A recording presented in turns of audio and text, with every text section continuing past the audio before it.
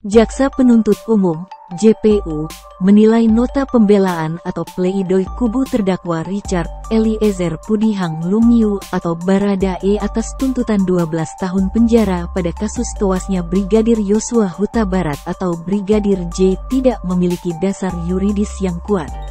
Hal itu diungkapkan jaksa dalam replik yang dibacakan dalam sidang di Pengadilan Negeri, PN, Jakarta Selatan, Senin, tanggal 30 Januari tahun 2023. Jaksa pun menyebut bahwa pembelaan dari penasihan hukum Barada E harus dikesampingkan.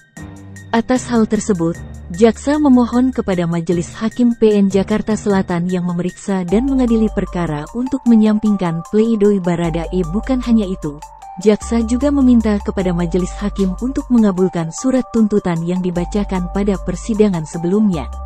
Barada E yang mengenakan pakaian kemeja putih serta celana hitam tampak melirik ke arah penasihan hukumnya, Roni Talapesi.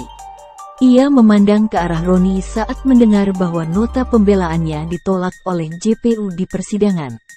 Barada E juga tampak melihat meja majelis hakim selama mendengarkan replik dari jaksa penuntut umum.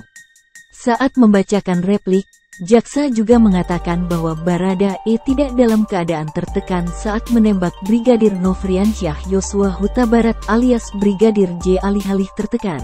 JPU menyimpulkan penembakan itu justru dilakukan karena loyalitas Richard kepada Ferdi Sambo sebagai atasannya. Tim JPU kemudian menyinggung pleidoy tim penasihat hukum Richard yang menyebutkan aspek psikologis. Menurut JPU, penasihat hukum telah keliru dalam menafsirkan perbuatan Richard. Sebab, perbuatan Richard yang turut serta dalam tindak pidana Ferdi Sambo tetap harus dipertanggungjawabkan.